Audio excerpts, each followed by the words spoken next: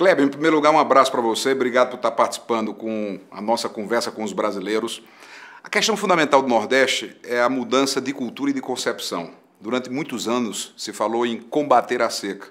Não se combate a natureza, se convive com ela.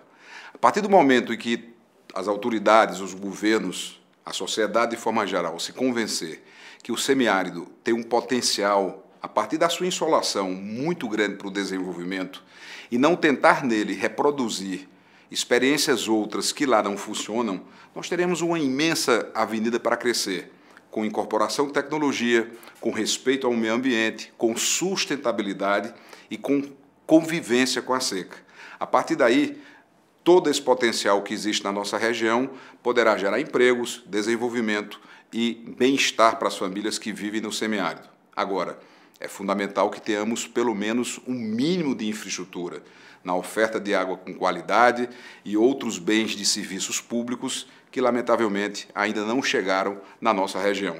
Vamos continuar lutando, pode ter certeza, Clébio, por um semiárido forte e desenvolvido e que saiba conviver com sua própria realidade.